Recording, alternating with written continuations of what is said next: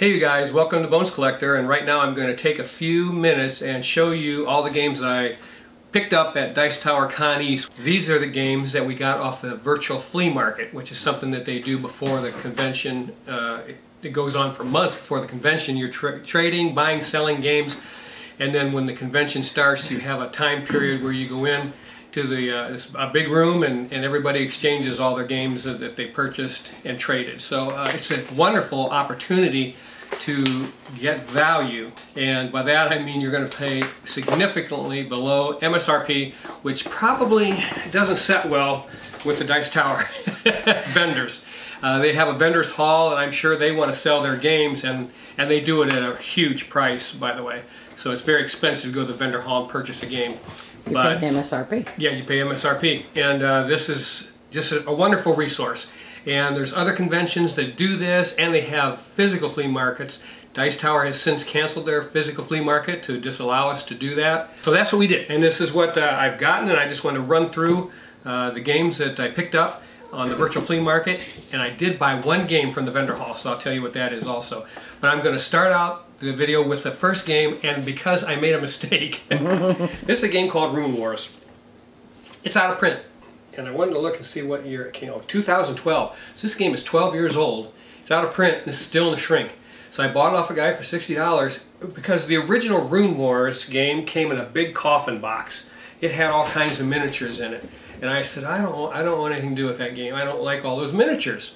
And so when I saw that there was an actual revised edition, which it says right there, I thought, well, and, and I saw the size of the box, I'm like, well, they had to get rid of all that crap, you know, all those miniatures. So I bought it because there was not an unboxing on YouTube.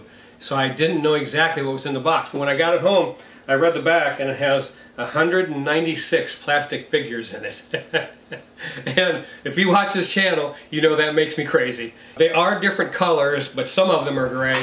And I just am disappointed that I didn't know that. Uh, I mean, people make mistakes, and I made a mistake. So I'm going to leave this in the shrink. Again, because this is a collector's item, somebody's going to want this, and I'm going to sell it to somebody that really wants and doesn't mind all that plastic in the box. But yeah, so I got Rune Wars by mistake, whatever. I'm going to get rid of that, just keep it in the shrink, make it just that much more collectible. And then I got this game, still in the shrink, called Vagrantsong. And I've been wanting to play this game. And it's from 2000 and, uh, 2021 and it's about vagrants or hobos that are on a haunted train. And I love the theme of that because I, I just like uh, scary type of thematic games. Um, this one is no exception. I was curious about it. I've watched it played several times on YouTube and I'm going to enjoy this game. And it has acrylic standees in it that are gorgeous. I can't wait to play this. It's like a campaign game I think in there and, and there's so much you can do with it. We've already ordered the, expansion for it which I, I want just because it has more figurines and I can't wait to play this. I'm hoping it's as good as I think it is because I want to make sure that I put it in my uh, Halloween games video this year. But that's Vagrantsong by Weird Word Games.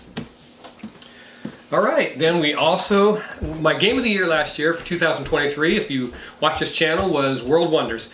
I still love that game, still love playing it. It was my favorite game of that year, and they have a Wonders pack, now Mundo Wonders pack that has nine new buildings in it, and we picked that up at the con. For, again, you're going to pay a lot of money for stuff there. This little tiny box, $25. But, you know, I wanted it, and I wanted to add it to our game.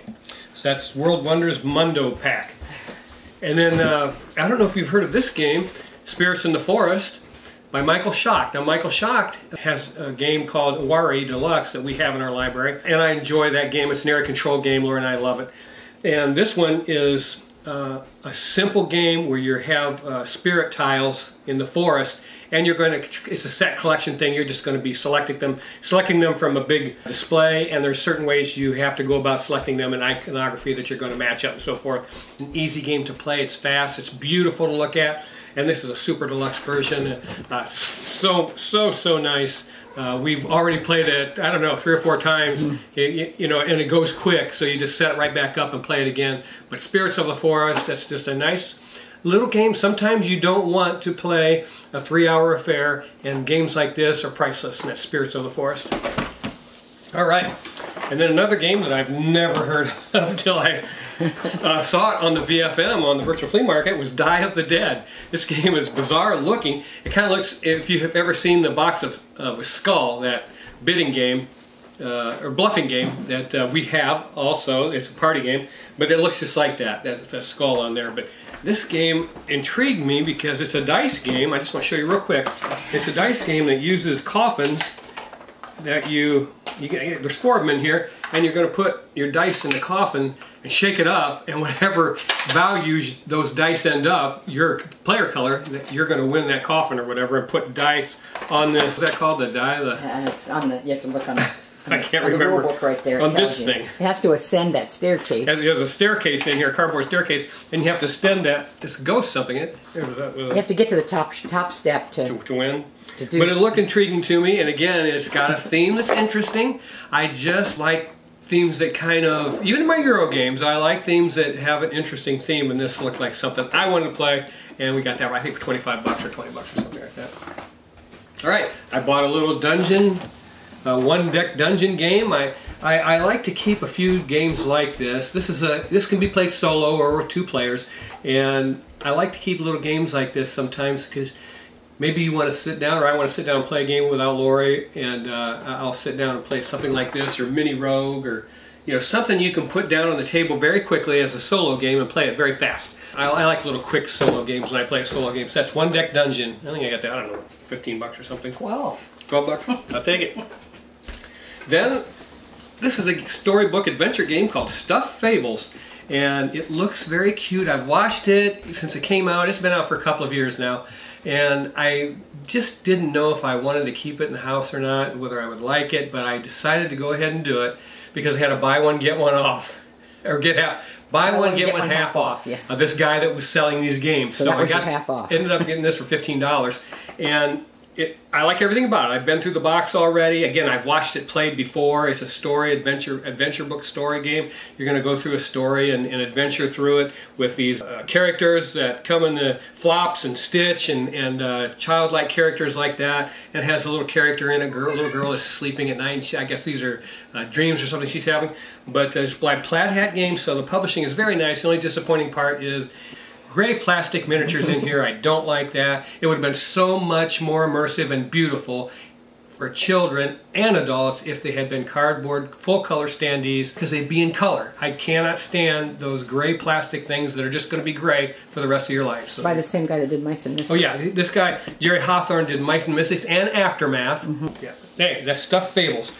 So then let's talk about a game that I had never heard of but I thought it looked pretty cute. It's called Ghost Betwixt, and it is a cooperative adventure game. And Stuff Fables is cooperative too, isn't it? Yes. Yeah, I, I failed to mention Stuff Fables is cooperative. So is Vagrantsong. Yeah, and Vagrantsong, I didn't say that. That's so yeah, too. and this yeah this is this is cooperative. Well, Laura and I love cooperative adventure games, and so I, I, I do try to seek these out. And this one here is a very lesser known game. Uh, the publishing is top notch in this game. This box is super heavy with stuff.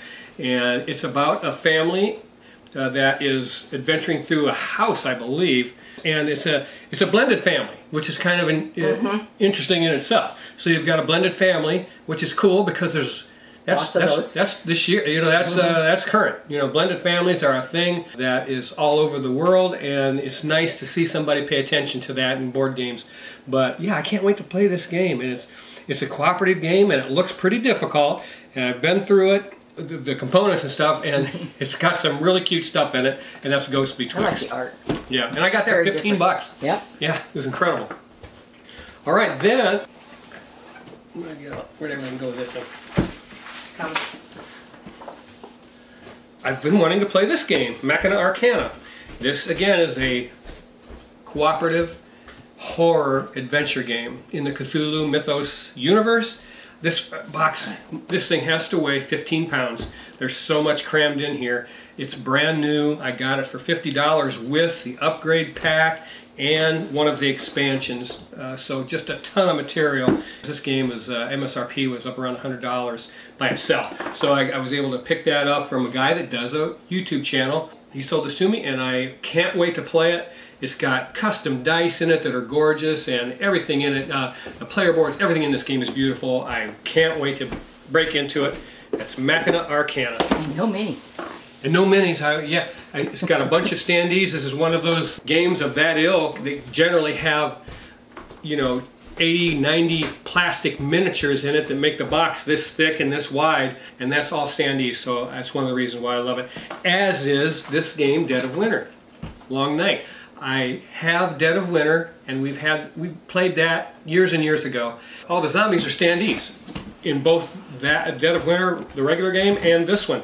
And I can't imagine how big this box would be if all these zombies were gray plastic miniatures. But they're full color cardboard standees, and I love that in this game. I loved it in Dead of Winter, and I wanted to get the full set so that I could just play my way to the zombie apocalypse and there's so much in this box. Again, by Plaid Hat, they do a nice job with their publishing. Mm -hmm. That's Dead of Winter, Long Night.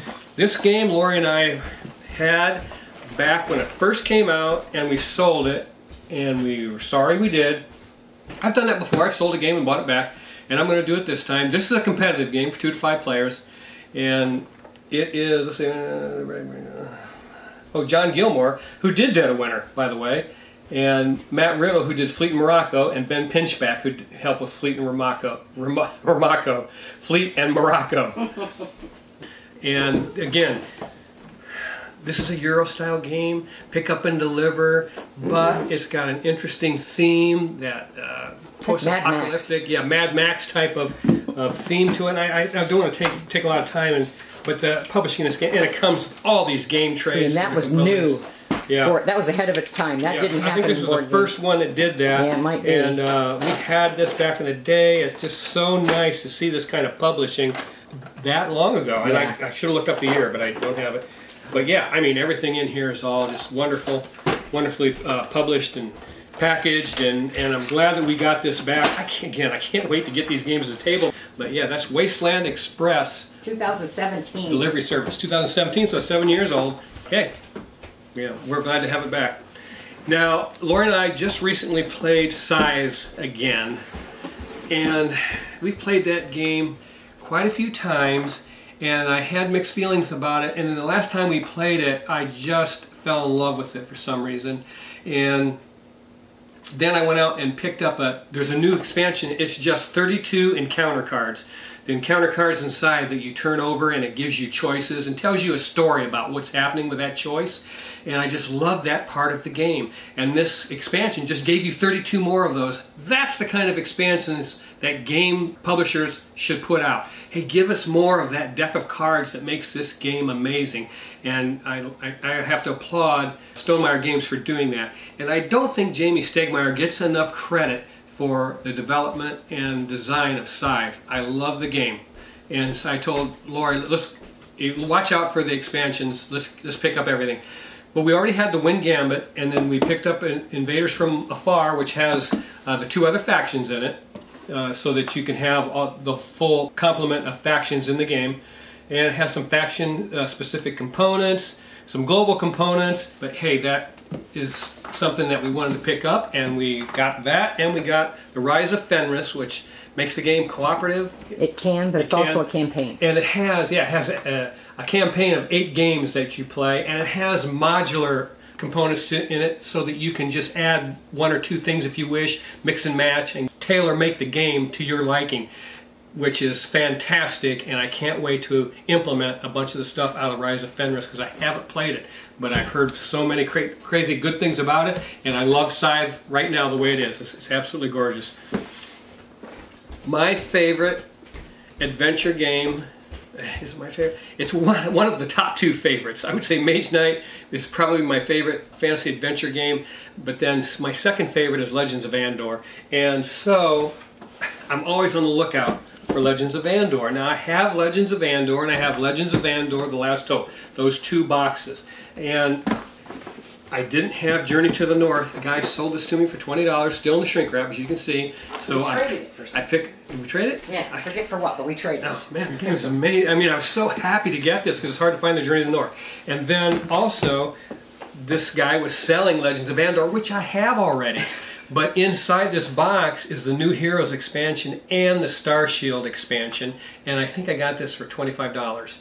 And Might have been thirty. the Starfield, the Star Shield expansion is more than that by itself. Because and you can't find it. Yeah, so it, it, I had to have it, uh, and I'm just going to gift my copy that I already have to a friend of mine that I work with. But uh, yeah, I picked that up with the two expansions. The lid comes off this this box. You couldn't get a penny in here. Check that out. I mean, there's so much in here. And this is, again, a cooperative adventure game. It's unique in the fact that it has thick chronicle of cards that you're going to read. It's going to have you do different adventures during the game. And the monster attack mechanic that goes on in the game is unique. And this is a tower defense game, and you are protecting the castle. And depending on the player count, you're only allowed to let so many monsters overrun that castle. And I mean, it's a few. It's like two or three. And then if you allow more than that, you lose the game. And when you battle a monster in that game and defeat it, it counts against you, not for you. So you want to avoid battle whenever you possibly can. I love that. It, but sometimes you have to kill them before they overrun the castle. So you you you're very very strategic and thought provoking uh, situation where you're trying to say do do we need to kill that monster? Do we need to battle with them? And if we do, let's do it. And the timer, it subtracts Advances the time. the timer, yeah. It just advances that to the end of the game. So you can't just run out and battle everything. And I love that about Legends of Andor. There's so much in that box that I adore. Again, my second favorite, maybe my first favorite. I don't know. It'd be arguable. Then I found a guy that was getting rid of Folklore of the Affliction. I think I traded You a copy of Cascadia for this. Yes. Uh, Lori and I decided to move Cascadia on. We love Cascadia. It's a wonderful game, but we liked Calico and Verdant, and now we have Nocturne, Nocturne. and those three games from Flat Out. We like those better because there's more pressure on you in those games, and we love that pressure, just like in Legends of Andor. Folklore of the Affliction is an adventure card game. I like this game because it comes on the back. It says 72 full color standees included, and I love it for that. So it's got a lot of cards in it, game tiles that you're going to explore and and do various things in battling, uh, custom dice in the game, which were not included. Yeah. It was missing some dice. It was missing some dice in this game. I contacted the guy. I'm going to see him down there today, and he's going to get me the dice for that game. He just misplaced them. And I'm going to talk about one game we did buy from the vendor hall market. I didn't do it without playing it. this was in the library. I saw the game in the vendor hall market. Then, when we went to pick out a game in the library, did you find it in the library? I did, yes. Yeah. I didn't know you were in the market looking Yeah. at it. Yeah. I picked it out while you were looking I was listening to the guy explain the game in the vendor hall, and he, of course, they have a whole bunch of copies there for sale. And then Lori checked it out of the library and said, "Hey, let's play this." I said, "Well, I was just look, watching a guy demo that." And uh, so we sat down and played it. And at first, we were like, "Oh, what's going on in this game?" I mean, you, at conventions, I, if you watch our videos. I sit down, read the rule book, teach the game, and play it, you know, as fast as I can go. So you're going to miss things. And we didn't play it entirely correctly. No. But the more we got into it, I, we both said, I really like this game. and here's the thing I love about this game the most is all the characters in it. You're, you're a, a pressed chicken society. And you're looking to build your own world, your own coop, where you can live in peace, but all these predators are trying to stop you from doing that. And in this game, you can't tell too much from the back, but it has every chicken character, and I don't know how many there are. Uh, I wish I looked it up. Uh, maybe I think there's eight. Eight? Maybe Eight- more, I don't know. Yeah, yeah, I mean a bunch. And uh, they have, each character is in a spiral notebook, a little spiral notebook. And it, man, the publishing of this game is off the hook. It is. But when you level up, you just turn the page and you get a, spe- a new special ability, and, and you get more health and more eating ability, which levels you up to the next level. And you're going to go up three levels on your character. And then the predators, I don't know, there's eight, uh, there's probably at least 10 or 12 I don't know how predator many of those either. notebooks, and they are on the board also. And when you battle with them and you defeat them, they turn the page and get more powerful, and they have dice effects on them. So you're going to roll custom dice. Thank you very much, There publisher. Yeah, custom dice. This is what they look like, and uh, they look like a chicken. Got some dice here. Sculpted white custom dice, and it's an anatomically correct chicken. So you have the chicken head for a six, and then the two is chicken, the chicken feet, and the three is one wing, the four is another wing, and the five is the tail, and the one is just what would that be? It's behind. Oh, it's always behind his butt. Okay, whatever. Where the But- eggs come out. but when you battle those monsters, they're going to have dice effects on them, and it'll say if you roll uh, a four to a six, this is going to happen to you. If you roll a two to three, this is going to happen to you. If you roll a one, there's no effect. So good luck, because if, more than likely there's going to be something bad that's going to happen to you. And then you turn the page, and it gets more powerful. And then it has one predator at the top where his notebook is closed, and you have to defeat all those predators. It's a cooperative game. For, failed to mention, we love that. It's a cooperative game. You have to defeat all these predators on the board before you have three seasons spring, summer, and fall that you go through. And if you ha- haven't defeated all of them by the end of fall, you lose. And so that last predator has a closed book, and when you get to him, he immediately opens up to his most horrific page, the third page, and mm-hmm. you have to defeat him on that page. Times three. Times three. So he's got a ton of life. I think we said 17 life he should have like had. that, yeah. Yeah, we, we didn't We see did. that We in skipped rules. that part in the rules, We skipped and we still lost. That's right. This is going to be a nice, light, fun. I mean, as we, we played it, I looked at Laura. I said, "I'm having a good time playing this game." and that leveling up system in those It took me a notebooks- while to like it Yeah, it did. Yeah, because I was frustrated with it. But it, after we played it, I'm like, you know what? That was fun. that leveling up system in those spiral notebooks is fantastic. And the player boards that you have have a cutout for the spiral part of the notebook So to it sit in, yeah. so it just lays flat. And you turn those pages. It's a fantastic publishing job. Everything in this box, all linen cardstock. The player boards are double, dual layered. All the tokens are screen printed. The food tokens, the eggs are beautiful, and the board is beautiful. Andrew Bosley does the art in this game. I just really was surprised because I told her I'm not buying anything from that vendor hall. Yeah. But I, I fell prey to flock together, and I really, really am happy about that game. As of 2024, it will probably be on my top 10 Yeah. list. All right, then I went Tiny Epic Crazy. Yeah. What's this? Oh, we got a little expansion for Carcassonne, one of the mini expansions. Mini expansion. Yeah, which we, we love Carcassonne. I still have my original didn't have that. Carcassonne's in my top 10 games of all time. It, it's been with me forever. I love playing it every time I get it out. It's uh, and people say, "Oh, how can that be a top 10 in your board game 100?" Because it just is that engaging. I love Carcassonne. It's supremely popular. I don't know how many millions of copies have been sold of Carcassonne, but hey, it carries its own weight. It's a great, great game. We picked up a copy of Legendary. James Bond deck building game expansion, and it is The Spy Who Loved Me with Roger Moore.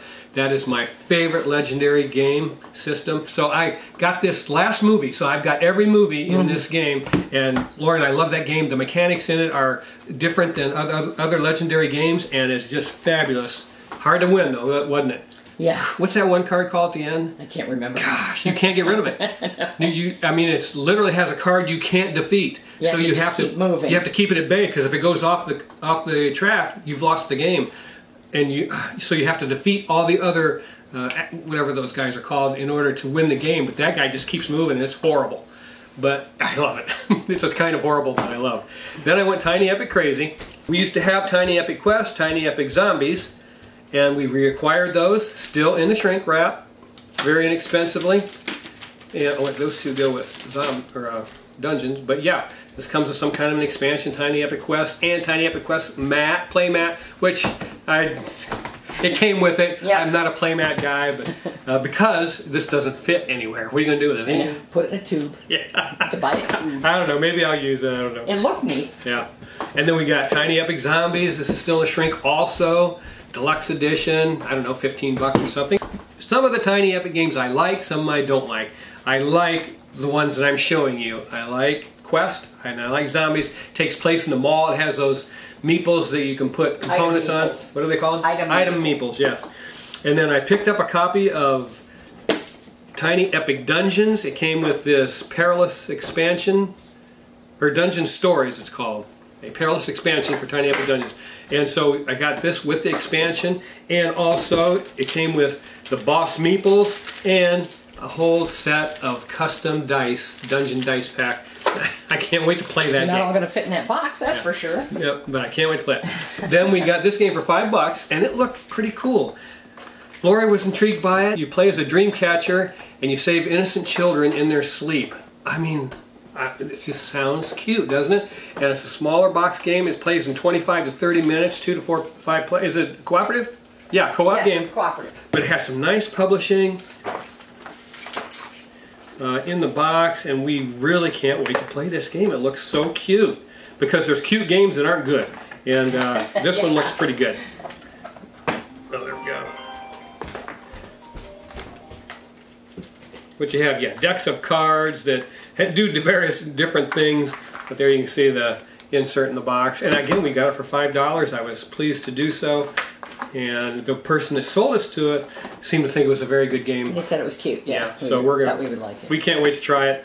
And so yeah, we can't wait to play this game. We'll let you know what we think of it when we when we get it played. And uh, yeah, that's Dream Catchers. And you're probably going to see a little jump cut there because our camera ran out of batteries. So don't be alarmed. All right, the next game I'm going to talk about is one that Lori loves, and this is uh, Ghostbusters Protect the Barrier. She had to get it back. We uh, had sold it, but we, this is a game we played with our grandkids when they were young. Came out in 2015 in celebration of the movie with the girls in it, and I love the movie. It was funny. We've never won this game yet, have we? the kids want it back.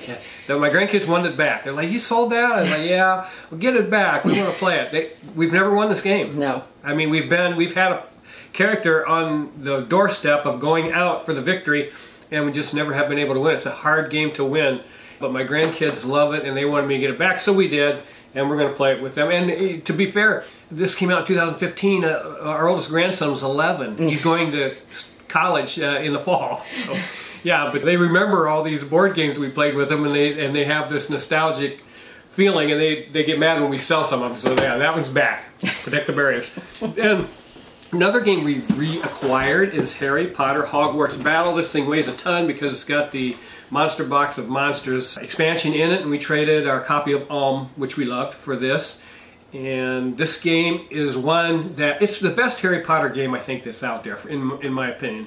And I love it so much because it's a deck building game, and we do have some house rules we use in this game. I just don't think the game designers and developers did their homework completely in regards to this game. But I love playing it, and Laura and I will sit and play it and play it, won't we? Uh, we've Oh, yeah. played the heck out of this game, and we enjoy it so much we had to get it back. And the house rule that we have in the base game is simply a market rule where when you have the market of cards and you're drawing cards off the top of the deck, if there's a duplicate in the market already, you just put that card on top of that card and draw another one to fill in that empty space. So that's a house rule in the base game. Then the Monster Box of Monsters, we have a house rule where you, what are the house rules? We got two of them. You always include Crabbe and Goyle as one of the cards. Yeah, you, you get an option on when you're building your villain deck, and we always, they say choose at random. We always choose Crabbe and Goyle to be in and the then the villain rest deck. are random.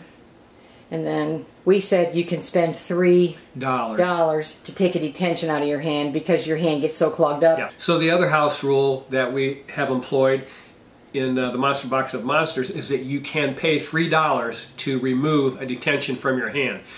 The deck of cards in this game gets so thick that you may never get to cards that help you get those detention cards out of your hand, and you they will just keep coming.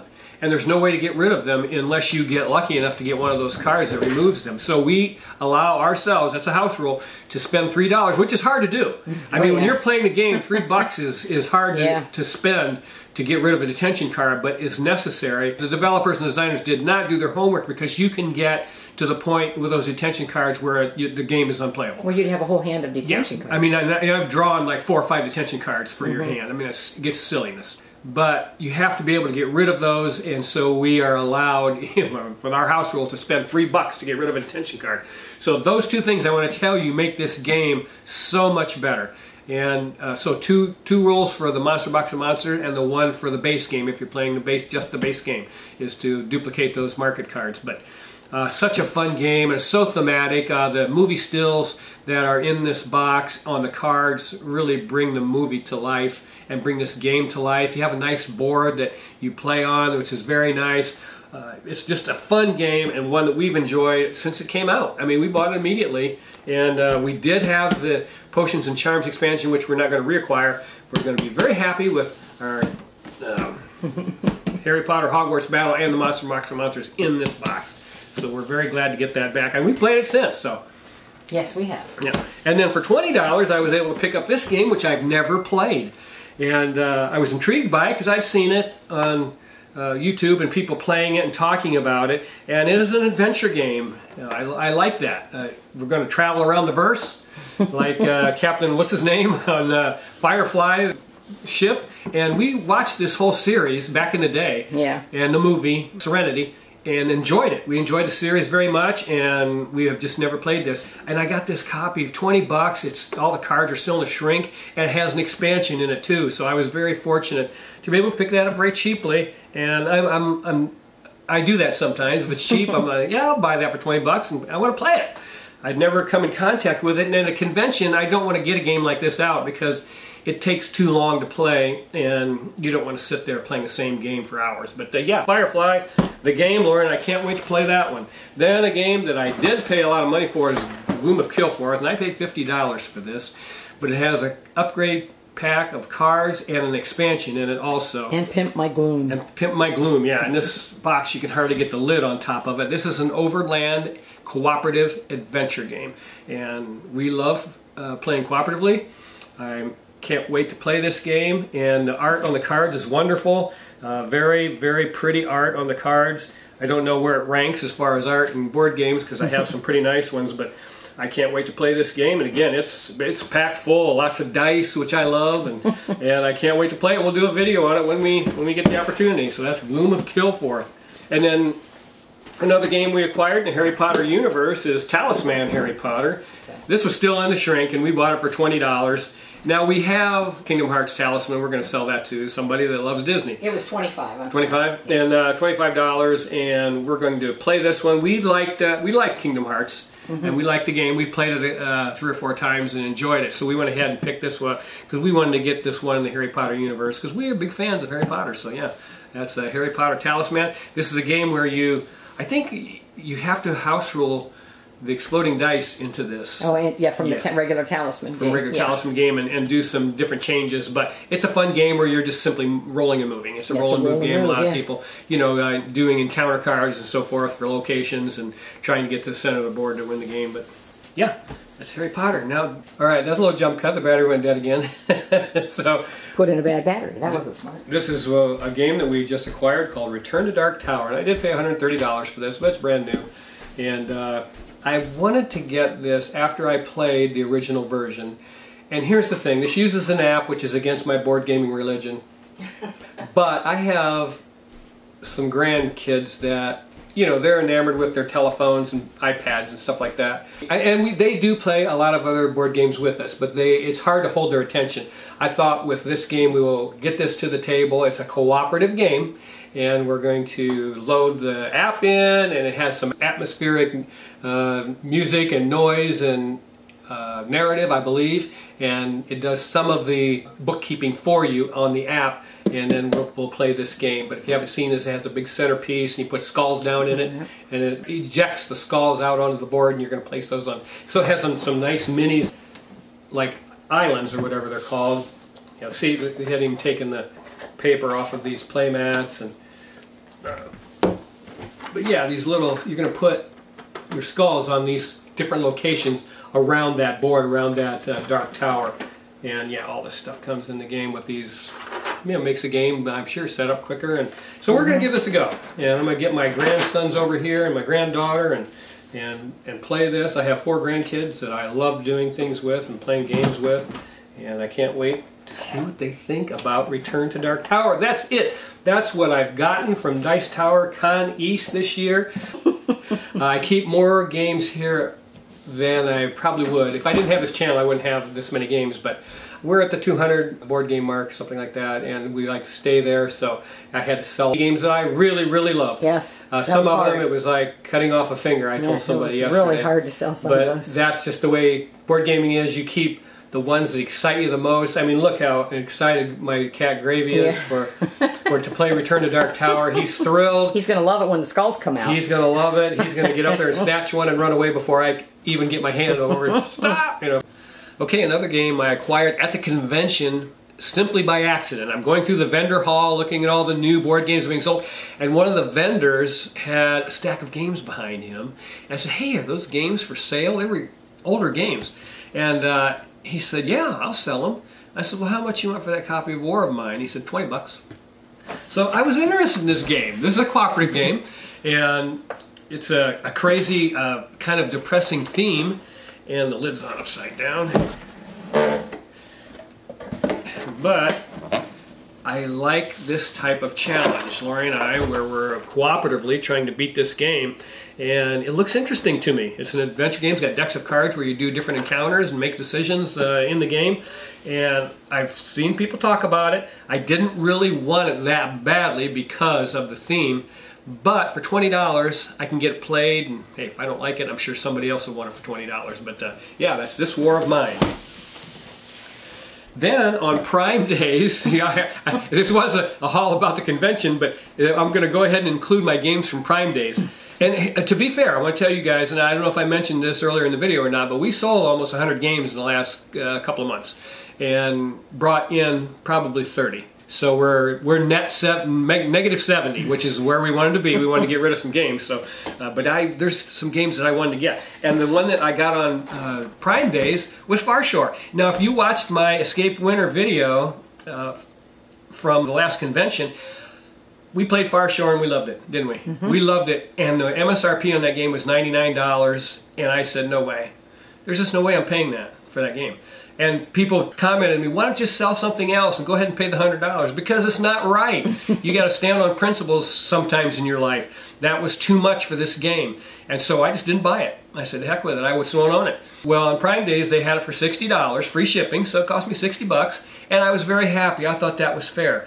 But Target had it on their online store for $50, so some people even got a better deal than I did. And those are fair prices for what you're getting in this box. It's a nice publishing job. This is in the Everdell universe. Laura and I never acquired Everdell because the font size on those cards was to the point where we couldn't read it.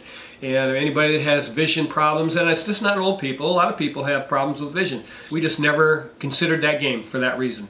But they fixed that problem in Everdell Farshore, and we're glad to have this game, and we've played it a couple of times already. But yep. uh, we really, really like this engine builder and enjoy it very much. Very similar to Everdell, but uh, I understand it does some things that the expansions had added to Everdell yeah. and are in this game. If you don't have Everdell, this is the one to get. Yeah. So yeah, Farshore.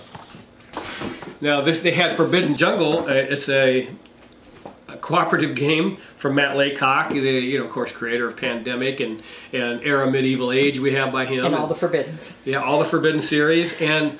They come in these tin cans, which I like. Because some people complain about this. I like these tin cans.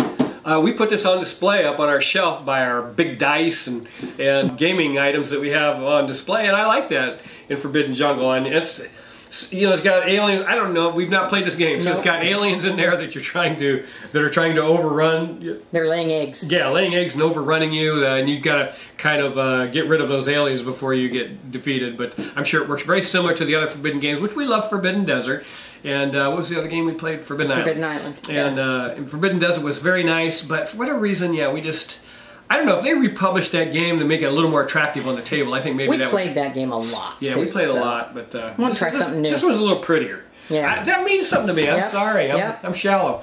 Hey, you know what, you guys? This one also was on Prime Days. Oh, this box weighs a ton. How many cards are in here? It's ridiculous.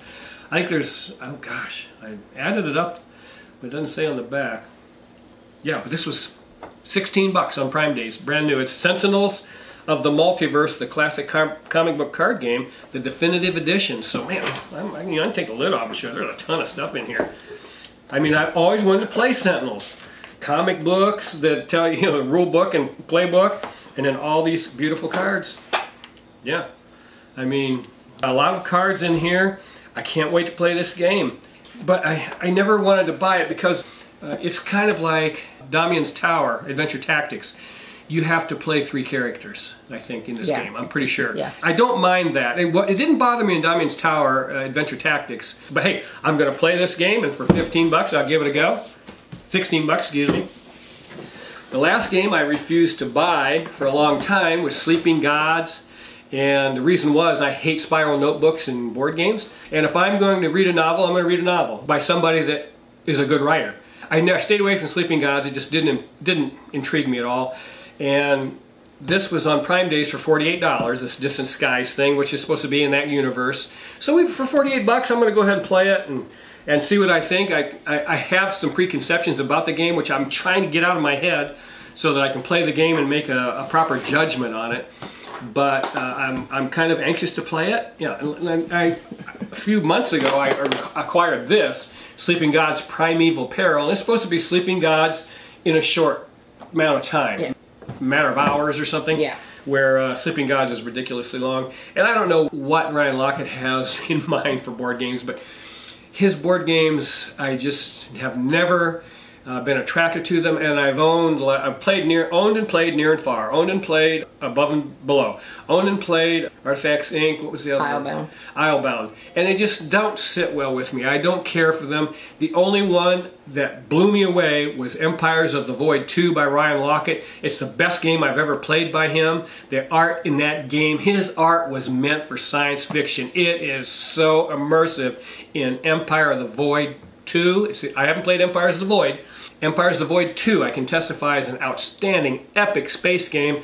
Uh, if you like that kind of epic feel to a game, you're going to love that game. I, am not talking about that game, I'm talking about Distant Skies, but I'll let you know what I think about this once we get it played. I don't mind the maps being in spiral notebooks, that's fine. But, you know, when it comes to the story in the game, yeah, I like it to be on decks of cards. This is not, and I wish Ryan would kind of develop a game where you have encounter cards that you go to for when you go to different locations a lot like touch of evil or fortune and glory that kind of thing but uh, yeah hey, we'll i'll let you know what uh, we think of this game when it happens and that's our haul for that convention and some prime day items that we purchased again we sold 100 bought 30 and that's the kind of uh, thing I like to, that makes me feel good when I'm purging things. To be fair, we have a lot of games here because of the channel that we wouldn't normally have.